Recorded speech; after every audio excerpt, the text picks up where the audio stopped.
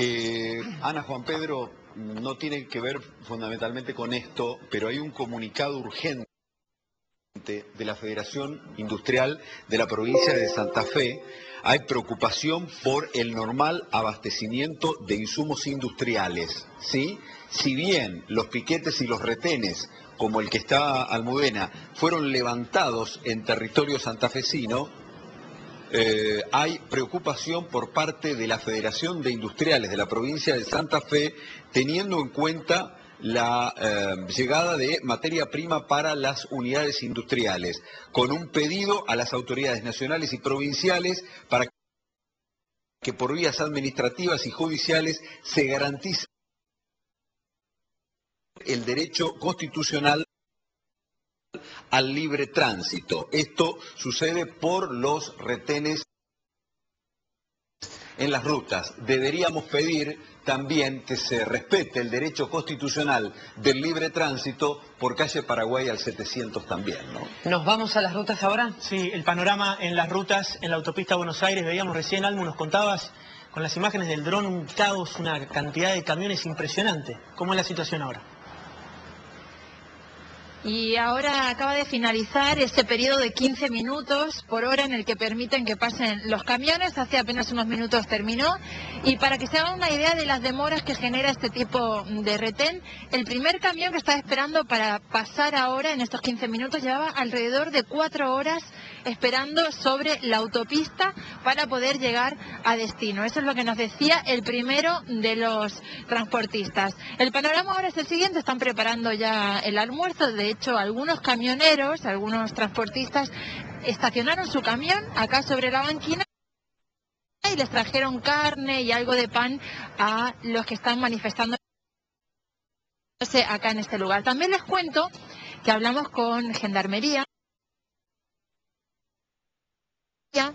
y con la policía de la provincia de Buenos Aires, porque recordemos que estamos en territorio bonaerense. Y lo que nos decían es que acá no hay ninguna orden para negociar, como pasó en Villa Constitución, por ejemplo, y que se levante el paro. Aquí no hay orden de ningún tipo, sino controlar el tránsito y mantener este corte hasta que decidan los manifestantes. Nos vamos a acercar a algunos de los transportistas que se están manifestando acá.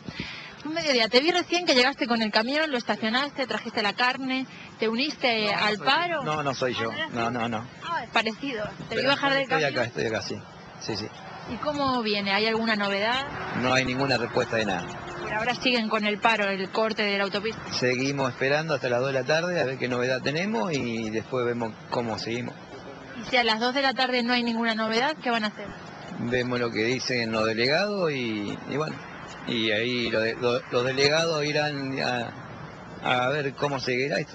Nosotros lo seguimos ellos. ¿Hay posibilidades de que a las 2 levanten el corte, por lo menos hasta el lunes? Mm. No, no sabemos nada todavía. Las 2 va a ser la hora clave. La hora clave, sí. Por ahora nada. Nada. Veíamos que cortaron después de los 15 minutos que permiten que pasen camiones, pero algunos pasaron, les permitieron el paso a un par más. No, no, es por seguridad, no queremos que esté nadie acá por los autos que van a pasar. Nada más. Solo por eso. Sí, sí. Muchas gracias. Dale, va.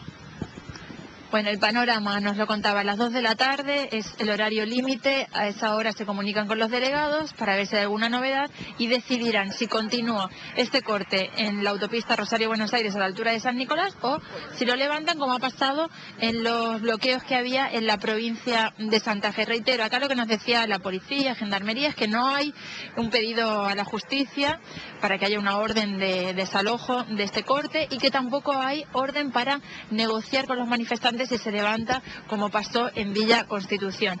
Es el panorama que tenemos en este momento. Ahí va Gendarmería por la banquina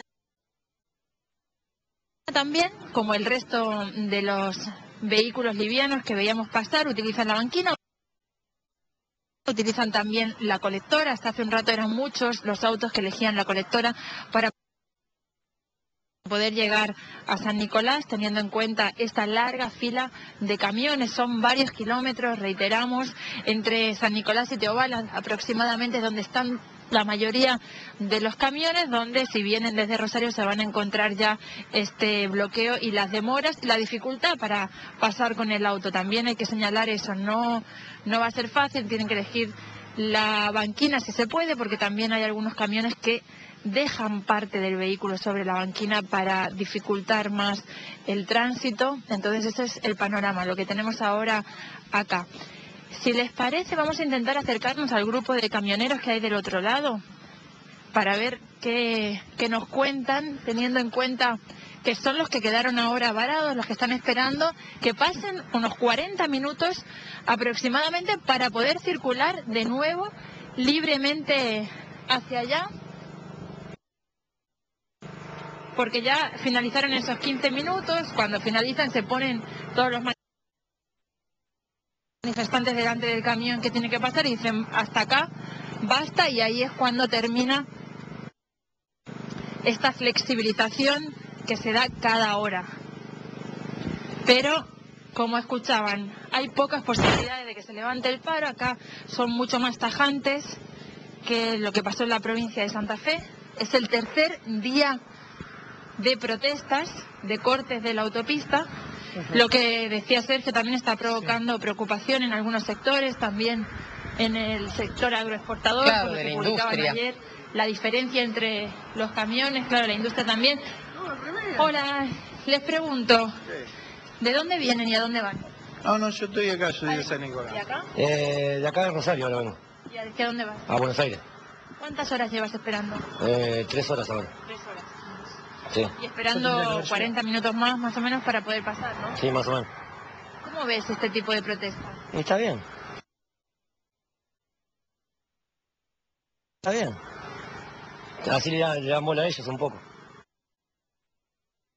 Un poco.